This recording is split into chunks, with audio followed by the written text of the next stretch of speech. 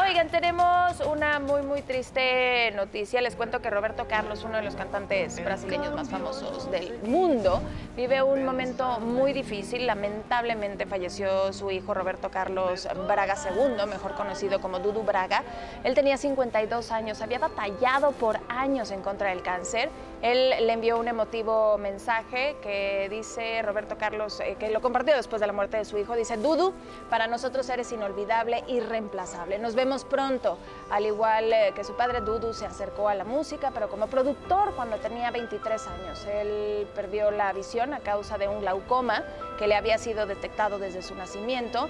En una entrevista en Brasil, Dudu explicó, y lo voy a leer textual, dice, mi cáncer volvió el año pasado, aparecieron eh, tres pequeños puntos en el peritoneo, que es una membrana que rodea el abdomen. Hice el tratamiento, me recuperé, pero el cáncer volvió hace un mes. Empecé a tener recaídas y tuve que volver al hospital. Ahora pues tenemos que darles esta triste noticia y descanse, descanse en paz. Un muy, muy emotivo mensaje que envió su padre, que en estos momentos pues ha pedido privacidad. Exactamente. Un abrazo para Roberto Carlos y toda la familia en este momento tan difícil, tan duro, como siempre le hemos dicho.